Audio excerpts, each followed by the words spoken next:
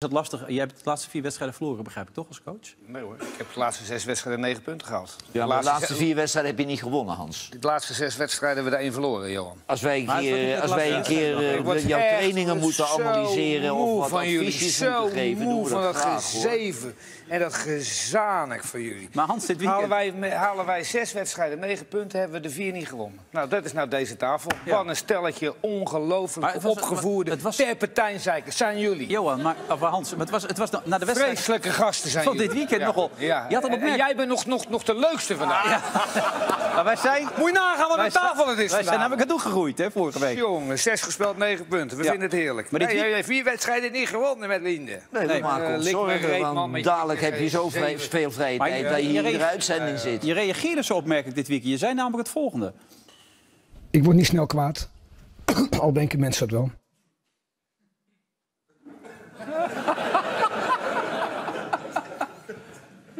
Dat was- vonden wij opmerkelijk toch dat je dat zei. Goeie quote. lachen, hè? Nee, maar... Oh. Ja, nee, maar dat vonden Er wij. is, eh, er is één redacteur de hele dag mee bezig geweest, hebben we begrepen. Hij heeft Twee- 23 twee keer naar Linde gebeld, hebben we gehoord. Ja, en, die- en toen eh, zei je dit. En, en dan Laten wordt we één keer kijken wat je zei. Want het was wel bijzonder wat je daar Ik zei. word niet snel kwaad. Al denken mensen dat wel. Het zijn uitspraken dit, Ja, hè? ja, Ja. ja, le- leuk. Ja. Prima werk van jullie redactie. Ja. Maar zullen we jou voortaan eh, werk. Giovanni noemen? Die zegt ook nooit wat. Ja, ja, nee. Godsgeristus, wat een Maar- stelletje zeikers zijn jullie, zeg. Nee, het lastige is, toen had die redactie dit beeld er ook nog bij gezocht... Oh ja? om het Oh, een leuk, beetje joh. in perspectief te we niks plaatsen. doen, wa- was niks, er was niks in het weekend. Nou is het afgelopen! Vrije trap voor Oranje op de 16. Dat gekut met niet terugverdedigen. Vrije trap Oranje. En geel scheldt elkaar maar verrot die gasten die er blijven lopen. Beetje harder tegen elkaar zijn. Zijkploeg!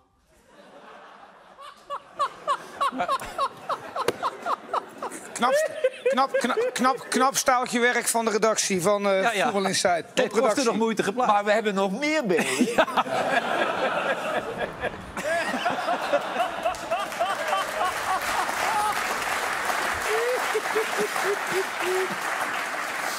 Mevrouw, mevrouw, dit is uit eh, 1973, dat ik met mijn jasje gooi. Eerste die- huwelijk zeker nog. Ja, Ja. ja, dat was mijn eerste Nou, dat is het leukste. ja, dat was de leukste inderdaad, ja. Ja, het is goed trouwens dat je er bent, Hans. Ik, ik had de indruk dat je haast had, want je was echt op het nippertje, zag ik net, hè? Haast had. Ja, eh, ik zag je net binnenkomen. Ik denk, wat is er aan de hand, weet je wel? Of, Ik was hier allemaal half acht. nee joh, je, was, je kwam toch echt heel laat binnen net, hier.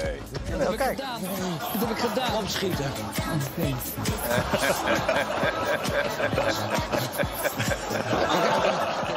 Hier. Net op tijd weer, hè? Ja. Echt kantje boord weer, hoor. Vind je leuk, hè? Ja, dat vind ik leuk inderdaad. Heerlijk. Ik vind Niet hard lachen, anders gaat hij zo meteen nog een keer laten zien. Ja, maar... Nee, hoeft ook niet nog een keer. Nee, niet nog een keer? Nee, nee. Vind je het niet leuk? Nee, ik vind het helemaal niet leuk. Waarom niet dan? Dat is gewoon een dubbelganger. Ja. eh, Heb jij wat tegen homo's? nee, nee, nee, ja, ja, helemaal niks. Helemaal niks. Nee, wat dat betreft sta ik er zelf in als jij. Ik heb er gewoon eh, tegen geen enkele groepering iets. En zeker niet tegen homo's. Hij werkt nu bij RTL, hoor, dus je kan hem niet meer tegenkomen hier ook. Hij is nu overgestapt. Wie? Nou, jij? Ehm Nou, het is wel zo. Ik heb wel hier wel eens vaker hier gezegd. eh, als je echt tackelt, tackle je, tackle je met je binnenkant. Henk Vrezer, daar moest je echt voor aan de kant als die kwam. Die kwam altijd met zijn noppen naar voren. En als jij dan net eventjes te vroeg bent en je, takt, eh, je tackelt legaal, dan breek je je enkel. Ja. Schaam jij je ook als je die oude beelden weer... eh, Nee, maar ik zag bij Kees, de tafel van Kees... Had ik Graafschap Feyenoord Ja, bedoel je? weet je wel, en dan zie ik jou. Maar Hans, je bent echt een dwaas dan, hè? Maar dat is eh 25 jaar, dat was in 1990, Johan. Ik bedoel, eh, ik heb jou in 1990 ook wel eens op de televisie gezien. dat ik ook gedraagt gelijk uitdeed. hartstikke normaal. Sinds 19, sindsdien gedraagt hij zich toch hartstikke normaal. Nee, nee, Ja, hij gedraagt zich jasjes. niet meer als een dorpsidioot Nee, of zo. Nee, meer. nee, chapeau. Ja. Jullie gaan morgen samen op stap, begrijp ik. Hè? Jullie gaan er een hele leuke aflevering We van gaan maken. morgen, gaan wij, eh, nou, We gaan leuke dingen doen. je hebt er helemaal geen zin in, hè, om langs te komen, hè? Nou, laat ik, het, laat ik het zo zeggen. Ik dacht dat deze serie na twee keer afgelopen was. Ja. Maar toen heeft RTL er nog een derde serie aan vastgeplakt. En toen moest je naar mij. Vanwege het doorslaand succes waarschijnlijk. Ja, ja. Maar ik moet concurreren met, met politieachtervolging uit 1956 en dat valt niet mee. Nee. Maar, Maar toen kreeg ik plotseling eh, ja, eh, Hans Kraaij junior in mijn viool gestopt. Hè? Ja. En morgen staat het in mijn agenda. Half tien 's ochtends Hans, Hans Kraaij junior. Nou ben je meteen wakker, hè? Dan gaan we naar, gaan we naar dat huisje waar Ja, dat wordt Jan leuk. Boskamp en Joke Bruis, Ja, toch? dat weet ik niet. Dat vertel jij. Wat is er met Jan Boskamp en Joop? Nee, dat ga ik niet vertellen. Ik wil Johan een keer zien dippen. Ik snap geld, ik, ik, ik, snap, ik snap alles. Maar als jij het Nederlands elftal, als jij coach van het Nederlands elftal bent... dan ben jij eigenlijk verplicht om in een stadion te spelen met het beste veld. Ja. Het Nederlands elftal moet in een stadion spelen met het beste veld. Dat is de Kuip. En dat is de Kuip. En als je dan in die arena ziet, die mensen uitglijden... dan weer dit, dan weer een nieuw matje erin. Ja, maar René, waarom spelen ze in de arena? Dan kan de KNVB de gasten wel. beter Ja, maar dat ontvangen. weet ik wel, maar dat weet het ik zou wel. om voetbal moeten gaan. En Ja, de tuurlijk. sfeer in de Kuip Tuurlijk. is, is niet te overtreffen. Ja, maar het is, als jij in de Kuip speelt, hè, daar heeft het ook mee te maken. Als een wedstrijd in de Kuip om kwart voor tien is afgelopen, in een volle Kuip... en je moet de volgende ochtend om half zeven op je werk zijn... dan haal je dat niet, dan sta je nog in de file daar. Dan sta je echt nog in de file. Hey, Hans. dat is echt. Hans. er gaan twee auto's Hans. per half uur Hey. strooien Hans, bij die arena sta Hij je weet niet ook waar, heel lang voor hij je weet niet waar hij het over hebt. Hij weet niet waar Nou, ik weet wel waar ik het over heb. want Hans, ik, jij- ja, nee, ik weet jij wel, weet nee, ik weet, totaal nee, niet ik waar weet- je het ik over weet hebt. totaal wel waar ik het over Hans, heb. jij ik weet totaal niet waar je het ik over hebt. heb. Want ik doe al interlands. Dus ik ben in die Kuip na een interlands. En dan, en dan René, Hans, ik ben naar Ajax, Ja. ik ben naar Ja. Ajax Feyenoord geweest. Ja. En toen heb ik mijn auto in die parkeergarage gezet. Weet jij hoe lang het duurde voordat ik op de Rijksweg zat? Anderhalf uur. Weet jij hoeveel mensen naar de Kuip met fiets, brommer, openbaar vervoer gaan? Ja. Ik zeg jou meer dan 95 procent. Maar ik zeg jou... 5 procent gaat maar met de auto. Ja, maar is- Bij Ajax gaat bijna iedereen met de auto. Want die hebben toeschouwers uit Tiel, uit Arnhem, uit Ik Wageningen, vind uit het Veenendaal. Ajax erger, hoor. Maar zullen we Nee, Veel erger. nee, nee, Hij het weet is niet waar hij het over hebt. Je weet niet waar hij het over hebt. Wie komt er nou in een stadion? Ik zie jou nooit in een stadion. Ik zie jou nooit in een stadion. Nooit in Nee. een stadion? Jij komt niet vaak in een stadion. Hey Hans, En- maar- Nee, nu ben ik even Nee, nee. nou laat je me ook even uitpraten. Nee, wat wij heel graag willen weten is Nee, namelijk, je hoeft heel- hoe, hoe zijn de parkeerproblemen bij PSV? Je hoeft er helemaal niet... eh, weet je, dat is een van de problemen bij Feyenoord. Als Feyenoord twee uur na afloop sta je nog in de file. En na u- Ja, één uur bij rij je zo naar huis. ook, Hans, Maar, die vind ik bij Ajax ook een ramp. Ja, het, is, het is gewoon... Het Voordat is gewoon. Twee uur na de bent. wedstrijd, twee uur na de wedstrijd bij Feyenoord... ziet Vincent Bijlo kans om op de A16 te komen. Zonder probleem. Dan rijdt er niemand meer. Dan rijdt er niemand meer. Met natuurlijk gelijk de onvermijdelijke vraag aan jou, Hans. Gaat het weer een beetje? Ja hoor, het gaat wel een beetje. Ja? Ja. Gevochten, hè? Ja. Ja, we gaan er toch maar even op door. Hans, hoe, hoe kwam dat nou precies? Leg het even uit. Wat gebeurde er in de Kuip? Ik was net klaar met eh, de interviews op het veld. Dat doe je met aanvoerders, met Weghorst en met uh, El Amadi. En ik had nogal haast, moest die tunnel in. En ik eh, knal vol met mijn knijter op die stalen kutklep. Ja, ja, ja hier. Jij jij werd daar behandeld ook, hè? Nou, Geloof ik, ben een, ben een partijtje bloed verloren. Dat ik hier zit is een wonder.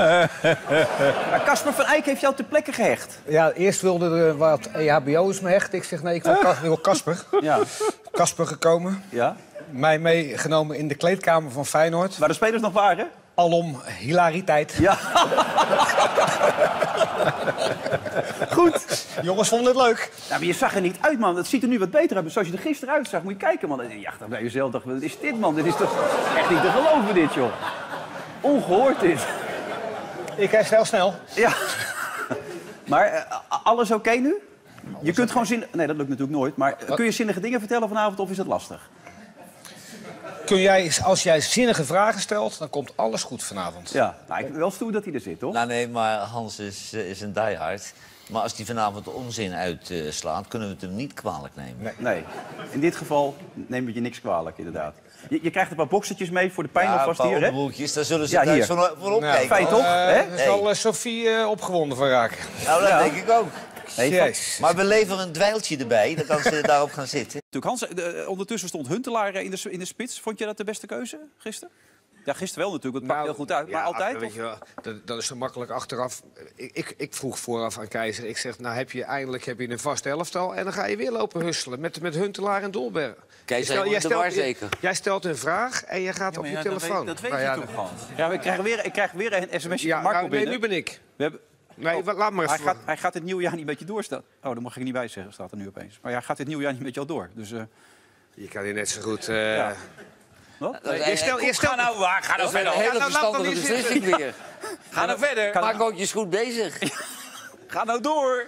jij, jij, hij, die lul, Die lul daar. die lul daar... Ja, die dat- stelt de vragen. Met dat geverfde Dat is vaak haar. zo. Presentator heet hij. Oh.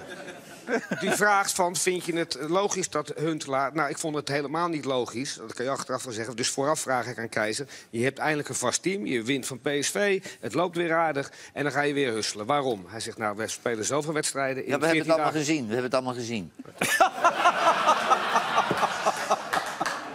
Ja, maar ik vond Dit- dat... Wat is dit voor programma? Nee, nee, want jij gaat. Wat is dit jij voor gaat nu vertellen wat iedereen televisie. drie Hij stelt toch de vraag? Ja, Wij kijken televisie. ik vond het een uitstekende uitleg. Ja, ik en ook. dat, dat sneed hout. Ja, Ja. ik ook. Wat Nou, einde verhaal. Heb je nog vragen? Jezus Christus. Ik heb het gewoon eh, gewonnen. Jij hebt gewonnen toen, hè? Ja. maar jij, jij- jij was wel heel Ik slecht. was zelfs zo'n sukkel, zo'n slaper. Daarom zeg ik, wakker worden mensen. Ja, waanzinnig, hè? Hey. Wat een slechte reclame. Dat, ik ook zeg. nooit, dat ik ook nooit aanbiedingen gehad heb voor in een, in een film of zo. Ja, echt onbegrijpelijk. Sinterklaas, Ja, bij het gaat Kim Holland. Ja. Nou, daar was ik graag op ingegaan. Ja. Nee, maar we hebben goede reclame gehad. ja, Toch? Dat lijkt me wel, inderdaad. Uh, zal ik de naam nog één keer noemen? Ja, doe maar Hans. Welke camera, Johan? Maakt me niet uit. Gewoon tweede... Oh, er zit geen lampje bij. Nee, maar die hebben we weggegooid. Gewoon tweede geworden. Only for men. Met dank aan jullie boegbeeld. Hans Kraai, junior. Hij bedankt nu zichzelf. Hè? Hij bedankt nu zichzelf. Ja, hij bedankt zichzelf. Ja. Dat is wel heel knap. ja, maar Hans is alle schaamte voorbij. Je zit er heel ingetogen bij, René. 3-0. Nee, ja, prima. Nee, prachtige uitslag, man. Ja. Die hoeft eigenlijk dinsdag niet meer naar, eh, naar Zwitserland te gaan. Nee, Dat toch? heeft geen zin meer. Nee, Nee. Dat, eh, maar dat is wel hartstikke leuk, man, als ze met het toernooi meedoen. Ja, ik- Het leeft als een gek, man. Hoeveel mensen zouden er gekeken hebben vanavond? Ja, ik weet niet, een Miljoen? denk ik Dat wel is toch zo. prachtig? Ja. ja. Hartstikke, Hartstikke goed. Wat, wat en vind je het nou- is gewoon le- lekker om naar te kijken, toch? Ja. Ik bedoel, ik zit wel eens naar, naar Emmen, Emmen de Graafschap te kijken. Doe je dat echt? Nou ja, niet lang, maar dat, dan zie ik liever dit. Ja. Dat zeg ik heel eerlijk. Maar is er nog iets opgevallen? Iets misschien met de coach van de Zwitsers? Is dat jullie nog opgevallen of niet? Nee. Deed je niet aan iemand denken bij jullie? Dat Nee. je denkt van, hé, Nou, hey, die ken ik, die komt maandag weer. Hansie Kraai? Hansie Ah, Kraai, hè? Hansie Kraai zat daar. Kijk, daar staat Hansie. Kraai gewoon langs de lijn. Dat, Ja. eh, ja. Is Maar dat vrouw? gooi- Is dat een, ja. Wat? Gooien ze met haar BH'tje dan? Ja, dat weet ik ook niet, maar Hans die blijkt daar toch andere functies op na te houden. Dat wisten wij niet. Je moet wel heel veel fantasie hebben, wil je hier Hans Kraai in zien. Nee, kijk, nou, we hebben beeld uit de tweede helft. Dan wordt ze op een gegeven moment boos bij het doelpunt. Moet je even kijken, dan zie je het echt meteen. Hier, kijk, daar, helemaal ja. laat Woest, kijk, woest is ze. Ja. Hè? 3-0. Ja. Is Nee, het wordt zo'n avond. Ja, zo'n avond. Al die filmpjes komen langs. Gewoon video's. Hoofdvideo's. Ja. Nee, we moeten de mensen beetje. Als je in het veld staat en je krijgt... en de scheidsrechter ziet zo'n duw en die gaat naar het gezicht... kan ik me heel goed voorstellen. Ja, dat je maar dat geloof, het, gaat helemaal niet naar het gezicht. Hij geeft hem zo met twee handen een duw en die gozer die gaat liggen rollen en die grijpt naar zijn hoofd. Maar jij hebt wa- geel gegeven. Jij, jij, Ik had hem geel gegeven, ja. ja. Ja. want ik vind nog steeds iemand een duw geven minder erg dan iemand op zijn poot Maar wacht staan. even, we hebben net gezien dat iemand een deal kreeg. en Dat vind je niks. Dus in die wedstrijd van Ajax met Haller, dat was ook een deal. Ja, maar dat Dan was telt een het andere niet. deal. Dat is een andere Dit deal. was een reactie op een, op een nare overtreding. Of in ieder geval een ongeluk. Maar in ieder geval, hij gaat hem op zijn- op zijn klauwen staan. maar Johan, zou ik, dan toch, maten, ik- zou ik dan nog met terugwerkende kracht in beroep kunnen? Ik heb ooit een scheidsrechter een duwtje gegeven. Nou ja. Ja. Nou, Hans, niet alleen een scheidsrechter, maar ook in heel peloton dames heb jij een duwtje. Maar Hans, eh, Daar heb ik geen spijt van. hoeveel wedstrijden ook alweer? Nou, 24 wedstrijden schorsing, maar het, wa het was een duwtje. Dat is niemand gelukt. Maar dat was bij nacht. Het was een duwtje tegen zijn borst. Ja. En ik hoor nu Dus van... achteraf moet je eigenlijk nog worden vrijgesproken. Ik hoor nu van jou en van Ja. Johan dat een duwtje tegen de borst. De wind kwam er ook nog een beetje onder. Ja. En, en, en- maar ik vond 24 wedstrijden best veel. Ja, Ja, dat is ook veel. aanvechten. Ja, Ja, dat is ook aanvechten, ja. Ja. Hoe heette die gozer ook weer? Eh, Wilde Vriezen. Oh ja, de Vriezen met een Z, ja. Met een Z. En Die die heb ik later heb ik die meegemaakt op een lezing. En ik zit in de zaal op de eerste rij. En die man die opent, ja, ik ben eh, Wilde Vriezen en ik ben een winnaar.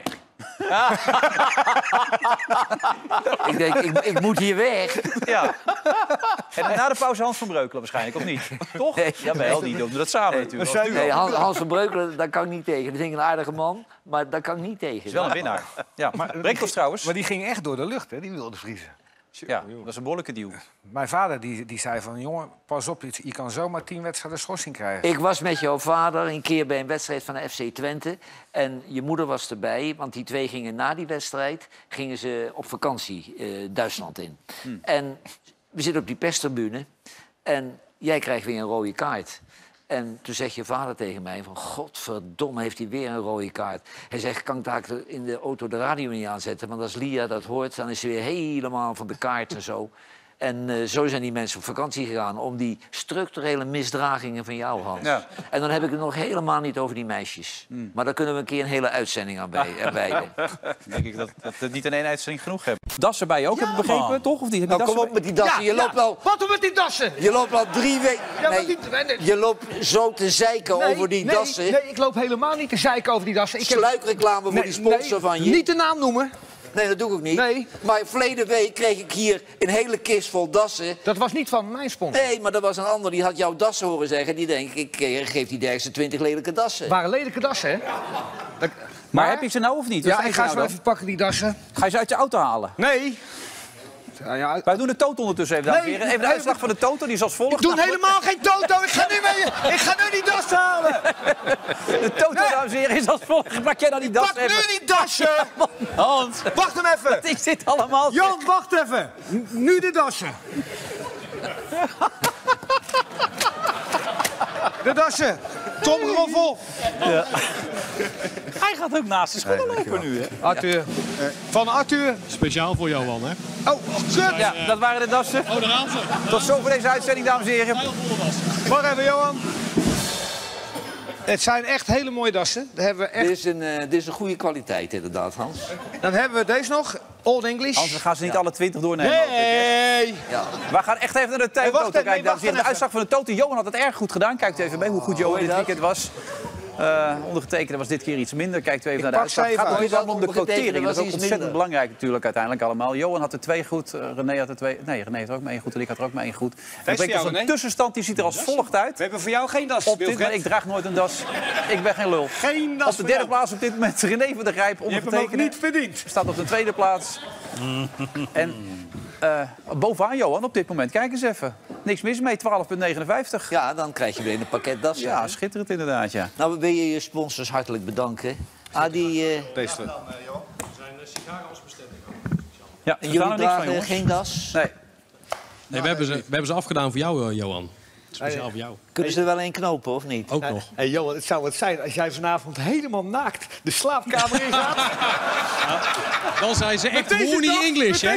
Horny. English, En jazeker. dat je vrouw dan zegt, wat kom jij doen? En je zegt, deftig neuken.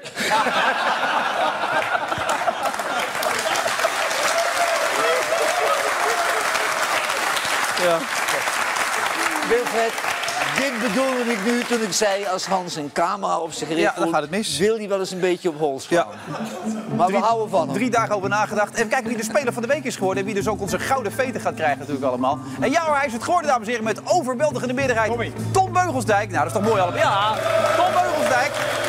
Ja, ik lees hier al mensen die zeggen dat Tom in oranje moet. Is Tom klaar voor oranje, René? Absoluut. Ja, hij kan oranje in, hè? Zo. Ja, ja. Ja? Tuurlijk, Johan? Tom in oranje? Nee, nee, ik wil wel hier serieus genomen worden. Ja? Hij zegt zelf dit erover. Rustig.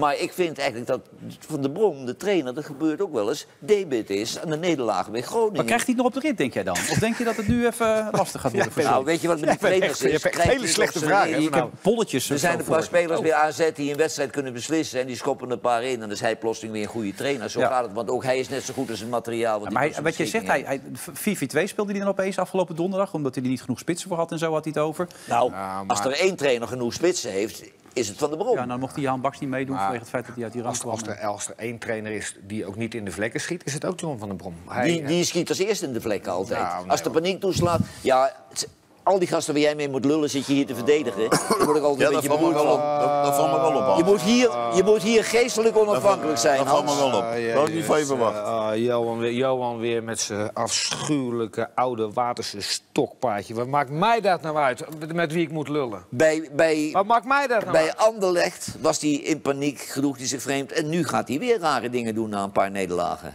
Ben ik, nu aan, ben ik nu nog even aan mijn fragment? Eh, want ik, ik, Ja, je hebt een fragment, Hans. Nou, nou ja, ze bellen mij op. Mij op gisteravond. Ja, maar een grapje. was niet serieus. nee, dat was wel serieus. Dat was volledig serieus. Leo Wij hebben allemaal fragmenten, denk ik, bel Hans Wat is jouw fragment van het weekend? Ja, dat, dan, heb dat ik... waren wij niet. Dat, is gewoon een ander programma, was dat.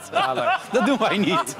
Je hebt het Niet doen. Je die hebt het klootzakken van de SBS, die nemen Ik heb het een half uur volgehouden. Je, hebt het, je hebt het slecht naar je zin gehad in Tour de Jour. Hè? Dan moet je een beetje op Hansie afreageren natuurlijk. Hè? Kom maar jochie, doe Ik nog ben al een even. half uur goed bezig. Ja, nu ben ik even... Eh, Doe nou je fragmentje. Ik maar die, even. eh, die, die, die boskamp gooide met een glas water in zijn bek. Ja, Maar het was er geen ja. laptop bij, hè? Ja, dan beter kunnen verzuipen. Ja, maar Maar- eh, je hebt een fragmentje, Hans? Ik zag Jan nog de zee ingaan. Zo! In Harderwijk worden die afgemaakt. Hè? Heel stiekem. Dat niemand het ziet, krijgen die een spuitje dan, hè? Dat is, ja. Hans, wat is je Was op de fragment? radio was het. Nee, dat doen we even, Ja, Hans. ja. Kom, Nee, even nee, een nou, fragmentje. Nee? Nee. Nou, wat, wat, Dan gaan we naar de reclame. Waar ik, Doe nou snel! Ja, dat is een nieuw programma en dan krijg je dit soort dingen. weet je, het, Ja. het- Het is veel leuker, hè? Ja, eigenlijk een veel leuker programma dit. die, die El Ghazi, dat vind ik echt een hele Oh, goede wacht. speler worden. Vraag. Nou, Hebben jullie ook zo geërgerd